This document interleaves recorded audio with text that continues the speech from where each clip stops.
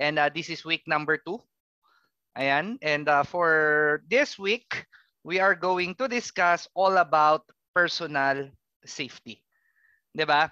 Okay, uh, minsan kasi no, uh, pagdating kasi sa sa safety, uh, sometimes we cannot help no to blame uh, our employer, yung ating mga uh, uh, business owners, 'di ba? Or minsan yung ating mga katrabaho 'di ba? Because sometimes they uh, they really cause no uh minsan harm. Maybe because of sometimes uh they lack of training what else? Uh, minsan nagbibigay sila ng mga uh, equipments which are uh, sometimes uh, not appropriate no or substandard. But uh, again at the end of the day 'di ba? At the end of the day uh, the person ultimately responsible for your own personal safety is you. Di ba? So tayo mismo, okay? Tayo mismo as workers, as employees are uh, responsible also no for our safety. Okay, so uh, ano ba una? Ano ba yung mga responsibilities muna natin as uh, employees or workers in uh, say health and safety doon sa ating workplace?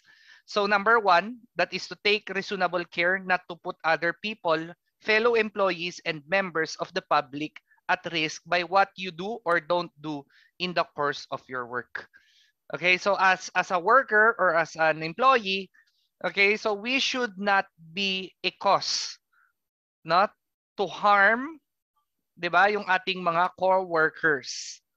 Okay, next is one also of our responsibility okay, as worker is to cooperate with your employer to make sure that you get proper training and that you understand and follow the company's health and safety policies.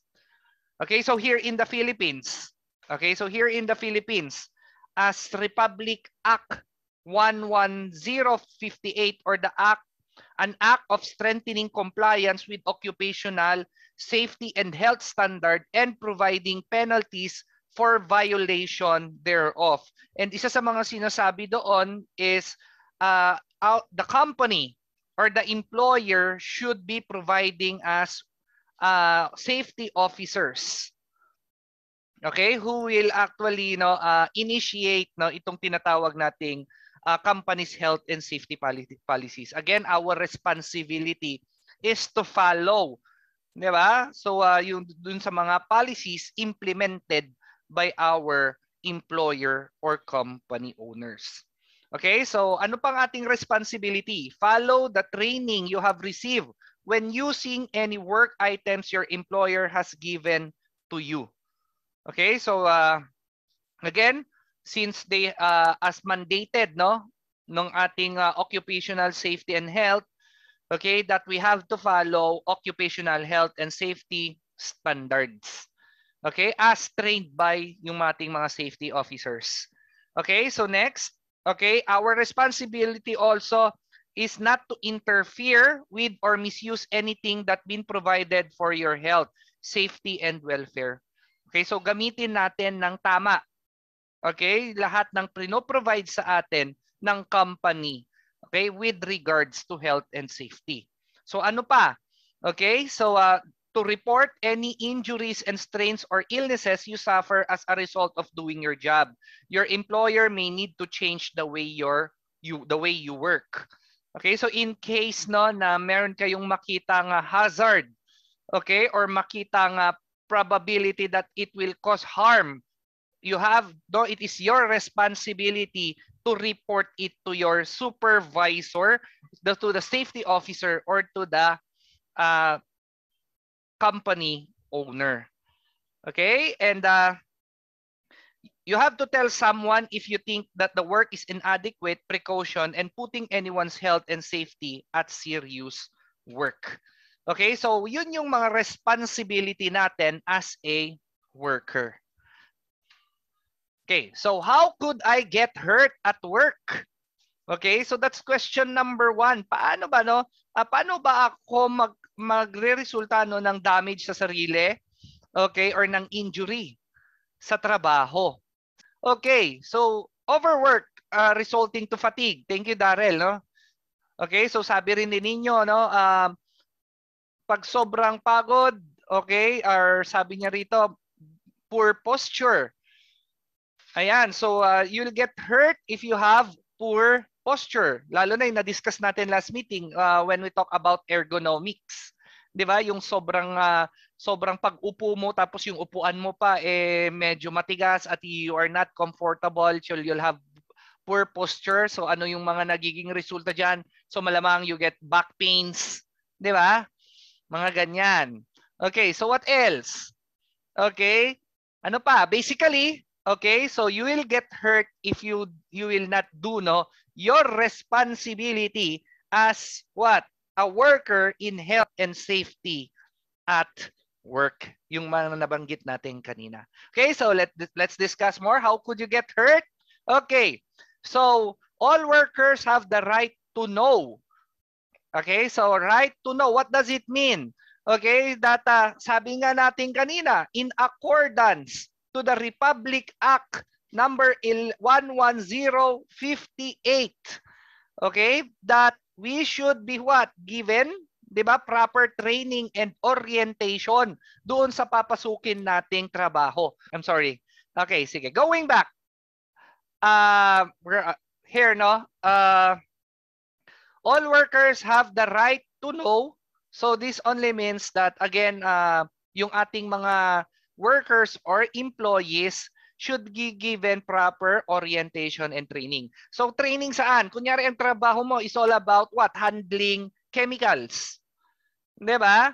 So dapat alam mo how to handle chemicals. Right? Kasi kung hindi mo alam, again, how could I get hurt? That's one way of getting hurt. 'Di ba? What else? Okay? Kung hindi mo kunyari for example, you don't know how to run the machine hindi mo alam mag-operate ng machine. How could I get hurt? Right? Siyempre, hindi mo alam patakbuhin yung machine. Most probably, baka masaktan ka. And many more. Ayan. So, ano pa? That causes us get hurt at work. Okay, so your employer has a responsibility for your safety. If these are not provided, you will get hurt. Okay? So ano ba yung mga responsibility no naman ng employer sa atin? Kasi kanina we have mentioned us as worker, 'di ba, yung mga responsibility natin. But how about the other way around? How about the employers? Okay? Ano bang responsibility nila? Okay, so number one, providing training, as I mentioned a while ago. Okay, so it is mandated. Okay, especially no, as stated again, in uh, Department Order 198-18 implementing rules and regulation of the Republic Act number 11058. Ano 'yon? That companies are mandated to hire safety officers to determine work uh, place uh, workplace hazards. Okay? And syempre, it is mandatory that they have what? 8 hours orientation. Ayan. So next. Okay? We have pointing out hazards as mentioned. Okay? Safety officers to determine workplace hazards. Okay, next is we have developing safe and work procedures. Okay, ensuring that you are trained to use and wear personal protective equipment. Baka provide ka naman ng personal protective equipment, di mo naman alam gamitin. 'Di ba? So ano ba yung mga protective equipments no madalas na binibigay sa atin? Okay, very good Darrell, no? So uh, they are providing us glove, gloves or what we call uh, hand protection. Okay, so this is for sharp or hot objects, chemicals, biological or electrical hazards. Very good. Okay, sabi naman ni Ninyo at saka ni J Mark, we have helmet or uh, hard hat. Actually, this is for head protection. Di ba? For falling or flying objects over uh, overhead objects. Ano pa? How about the others? Ano ba yung mga parte ng katawan pa natin na kailangan nating protektahan? Okay, very good. Sabi rin ni J. Mark, okay, we have the steel shoes or steel, uh, sabi rin ni Carlo, rubber boots for foot protection. 'Di ba? For falling or rolling objects, sharp or heavy objects, wet and slippery surfaces, uneven surface, hot surfaces, or electrical hazard. Sabi rin ni Cyril, very good. Okay, na kailangan din ng safety glasses for eye protection. Okay, especially no, lalo na kapag if we have, 'di ba, dust or particles. What else? Pag meron ding metal shavings, acids, co-plastic liquids, welding light, etc. Ano pa? Okay? So very good, no? Sabi ni J. Mark, binibigyan rin tayo ng coat. Lalo na, 'di ba, yung mga nagtatrabaho sa gabi. Right? Bakit? This is for high visibility para makita ng mabuti yung mga nagtatrabaho. 'Di ba? Sometimes makikita ninyo 'yan na reflectorize 'yan. Okay? So especially no for errant vehicles or para sa mga distracted drivers para hindi nila makita at hindi ka nila mabunggo, 'di ba? You are visible. Okay, sabi rin ninyo, syempre is we have for gas mask. Okay, so para saan naman tong gas mask na to? Especially if there are chemicals and uh, we have here fumes. Maaari kang um, syempre ma-inhale ma mo 'yon, 'di ba? And uh, that is dangerous to to health. Okay, so ano pa? Aside from mask or gas mask, If you are working 6 feet or more above or lower level, anong kailangan natin? Kailangan natin ng harness. Di ba? Okay, kunyari you are working in a loud place. Di ba? Or you are using loud tools and machinery or poorly maintained equipment. Maingay yon. Anong kailangan mo? Hair, uh, hearing protection. Di ba? Or pwede tayong gumamit ng ear plugs. Okay, so those are just some of the PPEs okay that we could use. Again, they they will be given this this will be given by the company for free. Okay, binibigay ito ng company for free. Okay? Pero syempre minsan ang mga tao no nagiging abusive.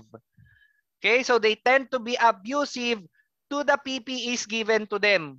'Di ba? Minsan kabibigay pa lang ngayong araw na to, bukas humihingi na ulit. Okay, in that case, even though our PPEs are being provided by free, there are also uh, anong tawag natin dito, sometimes they are given also no uh, chance na mag ano rin, maningil because of abusive people. Kaya wag nating gagawin 'yon, okay? So alagaan din natin yung mga PPE. Okay? na binibigay sa atin. Huwag inilalagay kung saan saan. Okay, there. And then next, okay, so one also of the responsibility of our uh, employers is they need to provide us proper supervision. Ayan. So do you have any questions, guys? May mga tanong po ba? Are there questions? Clarifications?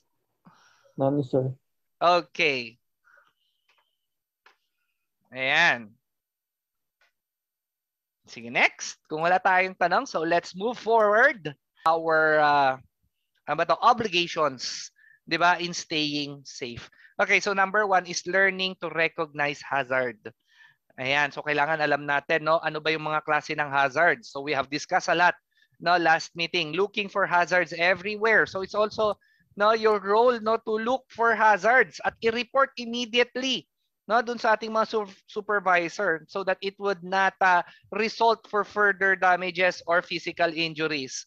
Okay as discussed last meeting we have no uh, discussed this the different categories of hazard. We have physical chemical biological and ergonomic again no it is emphasized again in this slide that reporting hazard to a supervisor so kailangan no ipaalam din natin okay na pag may nakita kayong hazard let's say biglang merong tumutulo na, na tubig, 'di ba? Ano pa? Biglang meron for example uh, umuusok, magay o biglang umiinit na parte or surface, you have to tell immediately to our supervisors so they could uh, actually fix no those problems. Ayan. Okay, so your turn. Ayan. So, okay. So, I want to hear from you guys. Okay. So, I want to get no feedback from you. So, kindly give a hazard. Okay. And then, anong pwedeng mangyari? and how is it, how it could be corrected. Siguro let me start. Okay, so let me start. Hazard. So uh, for example, physical hazard. Okay, so let's say a wet floor. So bagong linis na floor. So if you're not going to put sign, 'di ba? So people or workers might uh, slip or fall that would cause injury. How it could be corrected? Okay, so place proper signage.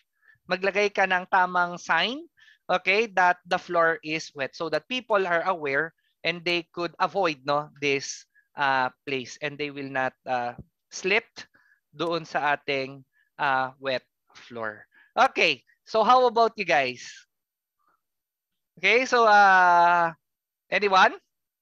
Kindly give uh, a hazard. What could have happened? How could it be corrected? Okay, so pwede ko kayong bigyan. Okay, so here's an example that you could look into. Okay, an example of a workplace. What possible hazard may occur? Okay, I, what what is the hazard? What it could do? Okay, and how it could be prevented. Okay, so you may refer to this uh, photo or you may think of something else. Pwede rin naman. Okay, go. Anyone? Volunteers? Emmanuel, good morning. Ayan, sabi ni, oh, ayan, mag-isip na kayo ha. Okay. So, uh, open wires can electrocute somebody contact someone who is knowledgeable to handle the situation. Very good. Okay, sabi niya rito, the hazard is open wires. 'Di ba? Okay, minsan hindi lang kahit na hindi naman open wire, minsan yung nakaharang lang din sa daan, it would really cause, 'di ba? Uh, nagko-cause din 'yan ng uh, accident, right? So ano yung pwedeng mangyari? It can electrocute. Pwede kang makuryente, right? Or pwede kang mapatid naman kung nakausli yung ating mga wires. Okay, so how can we correct this? Contact someone who is knowledgeable to handle the situation. Okay, uh, this is a very good point, Darrell, no? That uh, kung hindi mo alam i-correct, again, you have to report so that no, uh, yung mga tamang tao will address the problem and it will not cause any further injury. yes, Joe Mike. Yes. Good morning. Uh, regarding po dito sa picture, yung hazard po ay yung improvised uh, stairs or ladder. Yes, yes, yes. What could and it do? Fix, what uh, could it do? Could fall. Okay. And to fix this, uh, maybe he can use a an actual ladder and have someone looking for him while he is getting the uh, object from top of the shelf. Okay, very good, Joe Mike. Diba? Because if you can see, uh, the, the, the steps or ladder being used, actually, they, those are baskets, if I'm not mistaken. And baskets were used to carry something. It's not used as steps. So medyo hindi, hindi tama, no?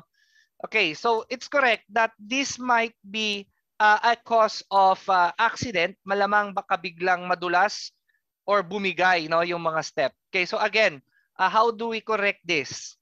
So we can correct this by again using proper equipment. 'Di ba? Such as yun nga yung sabi niya, a ladder. Very good. Okay, so sabi rin dito ni J Mark, okay, no PPE. What else? Okay, thank you very much, Joe Mike, Carlo and Jay. Okay, so sino pa? Wala din sinabi ni, ni Nino, tsaka ni Leanne. Okay, since you are you are dealing with chemicals, you should have 'di ba, PPEs. Very good. Okay? So, ayan. So, let's move. Okay, so how could I get hurt? Remember, you have the right to know. So, knowing all the ways you can get hurt at work can help you stay safe. So, ang ganda, no? Uh, this is a very good ano, no, uh, statement. Knowing all the ways you can get hurt at work can help you stay safe. Okay, so bakit nga ba no? Pag alam mo lahat ng makakasakit sa iyo, ito yung makakatulong sa iyo para maging safe ka. Yes, right? Obviously, kung alam mo lahat, 'di ba, yung mga bagay na makakasakit sa iyo in the workplace, you can avoid them. 'Di ba? You can avoid 'di ba? You can avoid them or at least you know what to do para hindi ka masaktan. Okay? And you will what? Stay safe. Ayun. Very good. Okay, so next, question number two. Do I have to say in my workplace safety? Okay, so meron, ba, meron ka bang say no, sa, sa workplace? Ito yung malaking tanong dito. Okay, so let's say, uh, this is my question. Okay, so uh, do you have the right to say no if you think that uh, when you when you are asked to do a job, your health, your safety is sacrifice. Ay, no sacrifice, at stake is at stake. Pwede ka bang magsabi ng no kay sir or kay ma'am kapag yung pinagagawa sa yung trabaho ay peligroso na maaari kang masaktan, no? Or isaalang-alang ang iyong buhay at kaligtasan. You have to explain. Hindi lang naman basta tatanggi ka lang naman. 'Di ba? Na uh, sa tingin mo nasa peligro yung buhay mo, 'di ba? Kailangan mo ring sabihin yung dahilan kung bakit. Okay. So uh, ganito 'yan, guys. Um when you are working and again, meron namang mga safety officers. Okay? So we have uh, safety officers that are actually uh, uh, ang kanilang task ay syempre i-alamin yung mga hazards in a workplace. Right? Okay, and sa tingin nila, hindi naman, kasi ang um, ganito lang naman yan eh. If they think, okay, that uh, yung, yung reason mo is valid, di ba? Yung ating mga safety officers can correct the condition or the situation. Pa pwede naman. So katulad na ng sabi ni Kim dito, sir, yung mga sundalo, Okay? Kaya nga, 'di ba, yung mga sundalo they are planning carefully para hindi sila mapahamak. Though alam natin na ang trabaho nila, 'di ba, is risky, pero they really have to hindi naman pwedeng sugod lang din ng sugod. They have to plan. They have the commanders. They are given instructions to follow. At least no to avoid casualties or reduce at least reduce or 'di ba? Maganda diyan, no? Avoid casualties. Okay? There. So they have to stay safe then. Kaya they have really to to plan. But that is a special situation naman. Okay? Uh, especially if ganun yung mga trabaho natin, ano? Yung uh, sundalo, firemen, 'di ba? What else? Um police. Ayan. Okay? So lalo na yung mga health workers nowadays, 'di ba? Kaya nga even though that they are what, uh, alam natin na medyo may hazard, but they are given correct PPEs and instructions, di ba? And they are trained para maiwasan uh, na magkaroon ng uh, what we call this one, harm, damages, injuries, or accidents. Okay? There. Okay, very good. So next.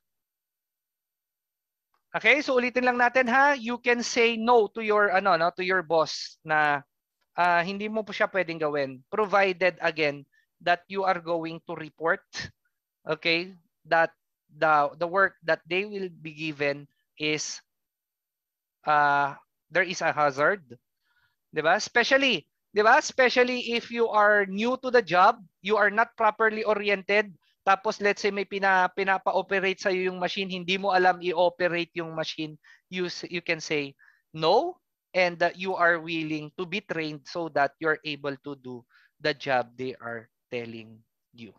Ganyan. Okay? Sige. So all workers have the right to participate. Katulad nga ng sinabi natin kanina, actually, that is one of the responsibility, 'di ba, of 'di ba, workers, employees is to participate to the health and safety policies of the company. Okay, so uh, participating include talking about safety. Ayan. So uh, you everyone should be informed about safety. In case may question, ayan, number two, asking questions about safety. Meron kang hindi naiintindihan. Sabi nga nila, wag mahihiyang magtanong. Ayan, parang commercial lang, di ba? Okay, so wag mahihiyang magtanong if you don't know something. Okay, on the workplace. And may, siyempre, making suggestions about safety.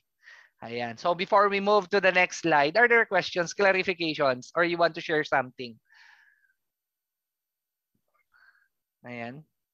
Okay, so let's move to the next slide. So remember, you have the right to participate. Right to participate, sabi niya rito, it's a very good, again, uh, very good uh, statement here.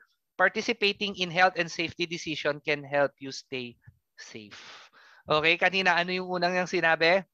Diba? Knowing all, diba? all the hazards will keep you safe. Ito naman, when you participate then, you, diba? That can also help you stay safe.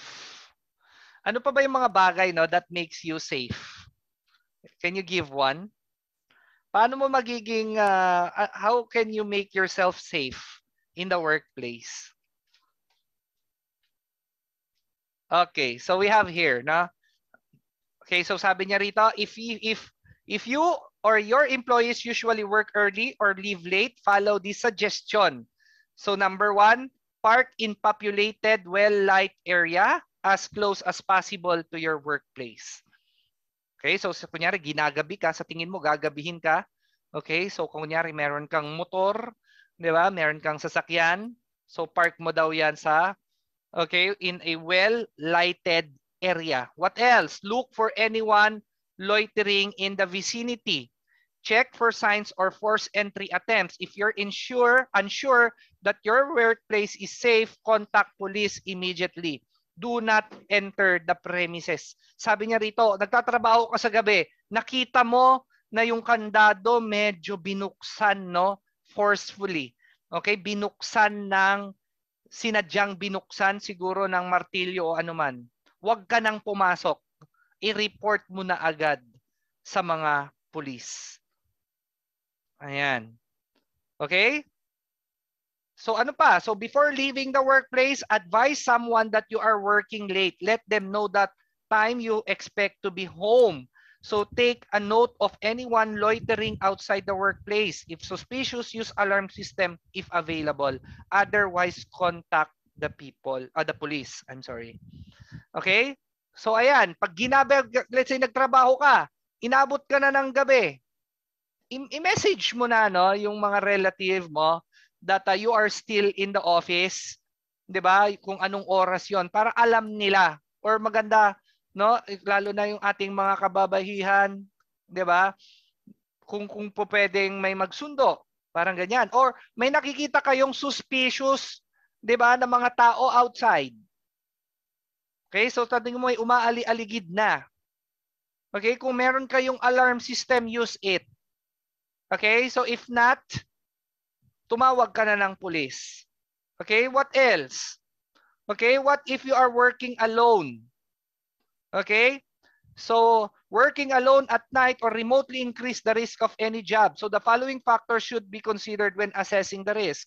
So tingnan niyo no, dapat meron kayong staff training. Procedures for staff working alone. For example, establishing regular contact via phone or radio. So if you're working alone, suggest that you have a radio para may kausap kayo or something happen, meron kayong makontak agad. Okay? Include appropriate behavior about working alone in your code of conduct. Okay? Personal alarm. Provide staff with monitored personal uh, duress alarm. Ayan, provide safe retreat or secure location. Okay, so what else? Okay, so uh, security services, provide security services where appropriate. Okay, so lalo na no, kapag if you are working, let's say you are working outside. Okay, so usong-uso ito yung nagkakaroon ng pagpapatrol randomly, umiikot-ikot yung ating mga safety officials, ay safety officers or safety personnel. 'Di ba? Okay? Also if we are traveling, 'di ba? We have also uh need to be very careful. Okay, so optimal times for travel to avoid possible safety risk, maintaining health while traveling, especially air travel. Okay, so kailangan you have here your communication systems like mobile phone. Okay, so also telecommun telecommuting. Ano pa? Okay, so yung ating workplace harassment. So harassment can involve physical contact, verbal comment, and non-verbal action such as offensive gesture and inappropriate emailing. So staff can can both psychologically and physically affected by workplace harassment. Anong pwede natin gawin? Include information in your induction training for new returning staff provide workplace harassment and anti-discrimination training. Okay, include business conduct standard in your can uh, in your code of conduct. Okay, so those are some no that you can do in your workplace to stay safe. Kayo, mer meron ba kayong mga suggestions how to make uh, how to be uh, stay safe no doon sa ating uh, workplace? Sabi ni Darrell, kapag po na, nagamit ang isang tool, dapat po ibalik sa pinagkunan at iayos kasi po ang mga nakakalat na gamit ay pwede pong pagsimulan ng aksidente. Very good. Okay? That's uh that's a very good uh that's a very good uh, suggestion, no? Actually, that is included in the 5S. 'Di ba? Na yung ating 5S. If you if you're familiar with 5S, no? Yung ating sorting, pag-aayos or standardized. Okay, ayusin lahat ng gamit. Actually, no, uh, syempre, malamang sa susunod, wala ka nang gagamitin. At higit sa lahat, baka ito pa yung pagmulan ng aksidente. Okay, very good. Okay, that's a very good example. Okay, so how about the others? Meron pa ba kayong may suggest? How can we uh, stay safe? Yeah, know your limits. Very good, Carlo. Okay, alamin mo hanggang saan lang ba yung kaya mo. Okay, so minsan, uh, pag nag-overtime pa tayo, 'di ba? Hindi naman kaya ng katawan natin, baka 'yun pa yung maging dahilan. Okay? Para tayo ay maaksidente or makakuha ng injury. Okay? Very good. Meron pa ba? Okay, sige. So kung wala, so let's move to the next slide. Okay, so uh, when do I say no? Uh, ito na yung nabanggit natin kanina. Okay, right to refuse. Okay, so we can refuse if we think that okay, that uh, the job 'di ba? Or the work or the task being assigned to us is what? Dangerous, at risk, or there is an hazard. But again, it is our duty to report this to our safety officers so they could adjust or change the working condition. Ayan. Okay, so uh, refusing, stand up, my boss, that's hard to do. What if I get in trouble? I'm not I'm not good at saying no. So uh, how else can I refuse without saying no? Oh, ito yung mga bagay no, na pwede natin gawin. Can I ask something? 'Di ba? Pwede niyo tuluyan 'to eh. Can I uh, can I ask you something? Is the place unsafe? 'Di ba? Maganon, is the task make me unhealthy? 'Di ba mga ganyan? I have a concern. Then tell what the concern is. Uh, kung anong concern. I don't feel comfortable doing this. Is there a safer way, way to do this? this is just doesn't feel this just doesn't feel safe. So you can use these phrases. 'Di ba? Maganda yung is there a safer way to do this? So they could suggest how how to do it safer. No? Okay, so if refusing to do unsafe work is such a hassle, is it even worth the trouble? Ayan. Okay, so what do you think? May mga ganun bang trabaho? Okay, next. To refuse unsafe work, talk with your supervisor. O, pag mag-refuse daw, these are the steps. Number one, you have talk you have to talk with your supervisor. Step number two, talk with your health and safety representative. Step number three, nako kung hindi ka pinayagan, no, call the o OHS division. Ano bang OHS division natin? DOLE, Department of Labor and Employment. If it doesn't work, sabi niya rito sa ating slide. Wag naman. okay, bakit okay do uh i okay again we have to do it in proper way. Ayan. okay. Lagay natin sa tamang sa tamang lugar naman. Okay. Next. Okay, so here are some work uh, situations where you may need to exercise your right to refuse, being asked to work alone without good security measure, being told to use new equipment without being trained, being expected to use equipment that is broken, Ayan, not being told about or given proper PPE, not noticing changes in task material or setting with no additional safety training. Okay, so ito yung mga ano, some lang, no? Some of the instances that you may refuse. Okay, so ano daw yung una? Kapag walang good security measure. Yung number two, gumagamit ka ng equipment na hindi ka na-train. Number three, di ba? Gumagamit ka ng equipment na sira. Number four, 'di ba? Pinapagawa sa iyo yung task pero hindi ka binibigyan ng PPE. Hurt, do I have to say workplace when do I say no? Just ask them. Okay, so that is the end no, of our slide